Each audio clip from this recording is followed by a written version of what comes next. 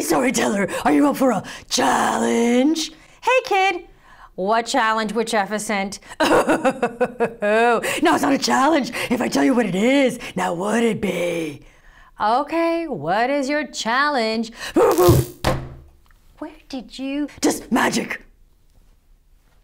Just, just look at it. Oh, oh, what is this? No reading aloud. Whoa, oh, what are you gonna do now? Well, maybe I should read it. But it says no, no reading aloud. So, ooh, you're gonna have to break the rules and be bad. Oh, and look, look, what does it say there? What does it say? It says some words. Say them out loud, because after all, you're a storyteller. Mm. It says the worst read aloud book ever. That's right, it's the worst. I brought you the worst read aloud book ever, and I'm gonna make you try to figure out what to do. That is your challenge. Is she gone now? that laughing feels good. Okay, I think she's gone now.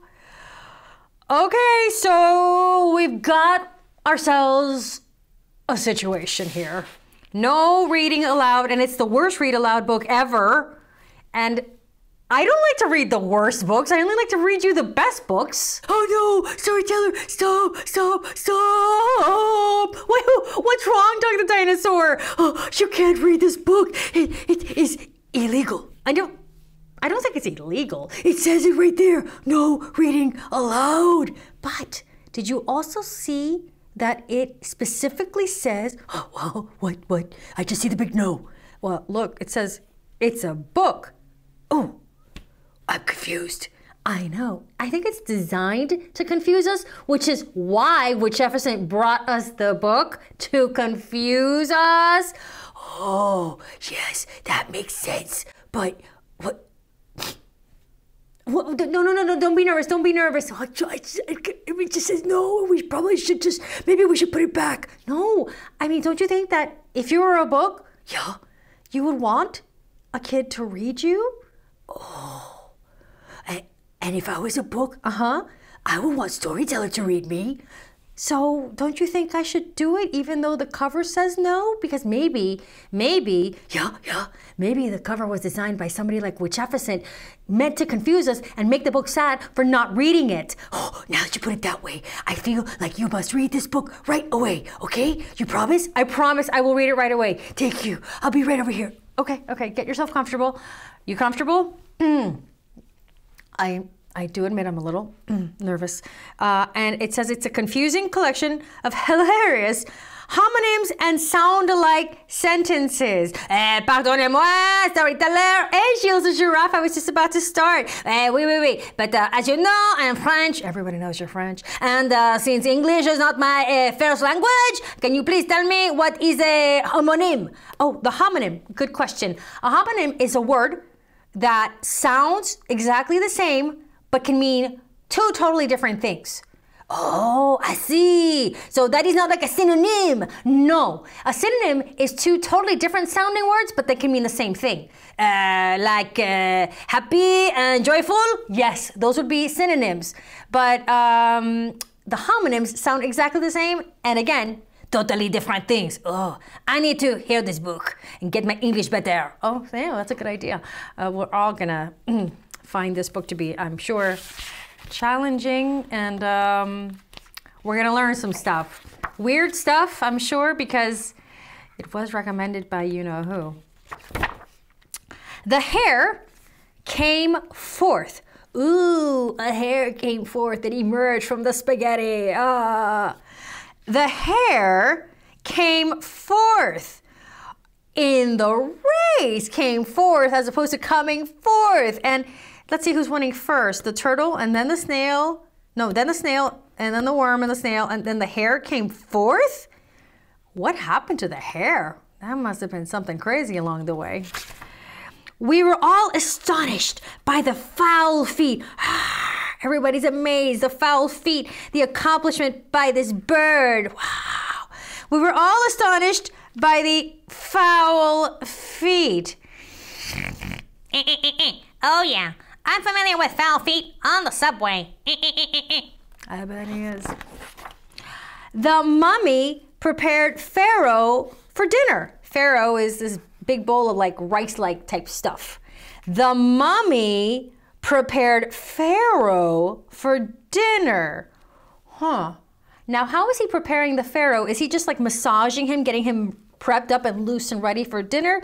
Or is he going to prepare the Pharaoh for dinner? We may never know. oh, I know. Yeah, I don't want to know.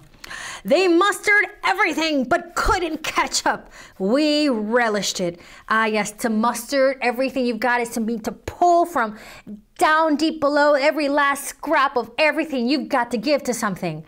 They mustered everything but couldn't catch up. We relished it. It's a condiment joke.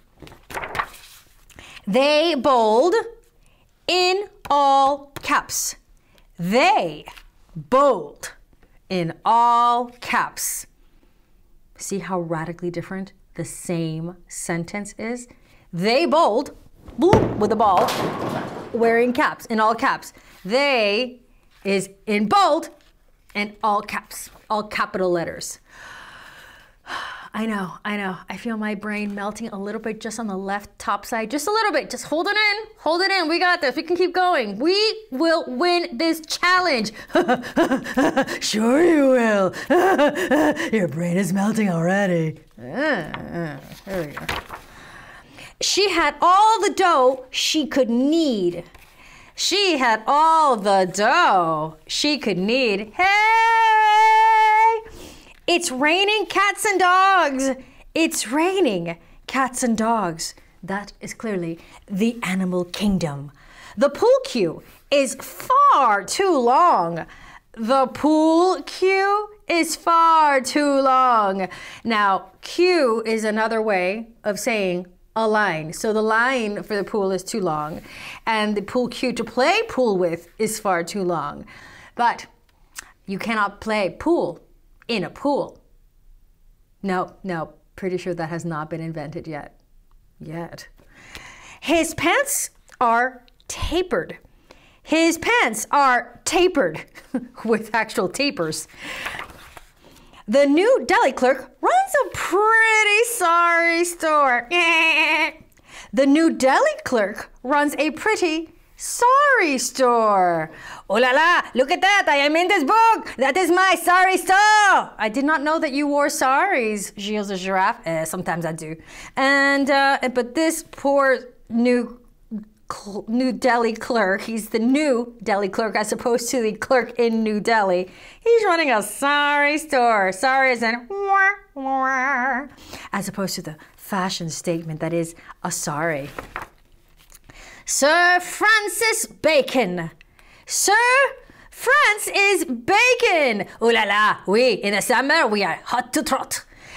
Orion's belt is out. That is the constellation. Oh, Ryan's belt is out. Ah, yes. Ryan, the ridiculous.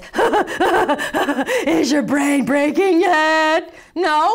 Yes, I can see it. No, it's not breaking. I bet yours is breaking, kid. Oops. I meant thing, thing, yes, thing. Ooh, you accidentally said kid. No, I didn't. No, I didn't. You're a thing. Mm-hmm. We all heard it. My Navy father, he's in the Navy, had blue jeans. My mother was well read. They marooned me. They forgot the kid on the island. That's being marooned when you're marooned up on an island somewhere all alone without any way of getting off. My Navy father had blue jeans. My mother was, well, red. They marooned me. It's a color joke. Oh, a storytelling. If your brain is melting, I understand. English is my second language, and this is hard. Oh, Abuela Bear, I understand the English language quite the doozy. Oh, hi. Oh, it is quite the doozy for all of us. The barred man looted the establishment. Looted. That means he stole stuff from a place and now he's behind bars. It makes him a barred man. The barred man looted the establishment. The bard is an old word for a poet, a performer, and he's looting the establishment because he's playing the lute right there. La, la, la, la, la, la, la, la, la. And apparently offending some people. La, la, la, la, la. The hero had supervision. The hero had supervision. He's supervising the hero sandwich. Here they're heard. Here they're heard. Bah. The fearsome predator preys. That's mean he's hunting. The fearsome predator preys. Uh oh, please don't eat me. This one I really like because I remember learning this word when I was a kid and it blew my mind. So get ready. The barn is raised. Clear. The barn, bush, is raised. Oh, that's right. Raised and raised mean opposite things and sound exactly the same. You can raise something, build it, but raising something with a Z means destroying it, bringing it down. I remember still being shocked about that word and how that could even exist. And when you just say it, if people don't know the word, they think you mean the opposite of what you're saying. So then you'll be like this book and be confusing. Stew? Where's stew when it's time to eat? Stew, where's stew when it's time to eat? Aha! See that? That was actually pretty cool. We see the Queen's burrow thanks to our anthill. We see the queen's Queensboro Bridge thanks to our anthill. Eh, eh, eh. Oh, hey, that's the Queensboro Bridge in New York City. Oh, that's where I go to go to Queens. Oh, and hey, Aunt, haven't seen you on the Q line in a while. Eh, eh, eh, eh, eh. White Rat knows everybody. It's amazing. The children scarfed the moose. The children scarfed the moose. Brr, it was cold. Beware the sharp turn. Beware the sharp turn. A turn is a seabird, and sharp, of course, meaning smart. The pitcher held the batter. The pitcher held the batter. Hold me. Man, a tea sounds great. Manatee sounds great. Oh, yes, yes, yes. I remember that concert. Manatees and the show were amazing. Oh, gosh. Fuchsia Fish goes to all the best underwater concerts. I didn't know also that manatees were such good performers. The fryer sizzled on the range. The poor fryer sizzled on the range. Oh, I'm on the range. I really need an air conditioner. C major, it's a beautiful key. C major, it's a beautiful key. Okay, I'm gonna tell you something, kid. I was a full on grown up when I learned that this word is pronounced key and not quay because it totally looks like quay, right? Doesn't it? fooled you. I know, I was fooled by that word, but it's key. And it's that thing, it's a platform where ships can load and offload and unload. The miners rode with oars, that's those rocks, precious rocks. The miners rode with oars, miner, like you, kid. Four mermaids jumped over the good news. Ah. Four maids jump over the good news. Ah! Four mermaids, four mermaids. Ah, that is so clever. I can't stand it. And why are they four mermaids, you ask? Because they just won the lottery. That's the good news. And these are also very good news. It's fun to read this book if it isn't allowed. It's fun to read this book if it isn't allowed. Oh, this has been a challenge. Oh, and now we have the worst glossary ever, so that that way you could look at all these words and possibly fried your brain like that fryer's brain on the range and figure out what some of these things mean. You'll never figure it out. Well, literally, it's like right there to figure out. Nope, nope, it's too confusing. You don't understand anything. You know what's happened? Your brain melted. Well, it did a little bit in this corner right here. it's completely melted. You just haven't even realized it yet. And the worst part of all, Or the best in your case. yeah, is that you broke the rules. You read, and you also broke your own rules. What is my own rule that I broke? You read the worst read aloud book ever. I win. You know, she might have actually won a little bit, but it wasn't that bad because we learned something, something about how confusing the English language is. Oh, I sorry, Telen. I think my brain melted a little bit. Oh, well, bear. I know that was a lot of confusing English in there. Oh, I need a cafecito and a dessert. Do you want to come with me? Do I ever? Absolutely. Let's go. Okay, kid, I'm gonna go off with Abuela Bear, and uh, we'll be here again because you know what? You know what? No matter what Wood Jefferson says, reading is always allowed right here on Kid Time Story Time.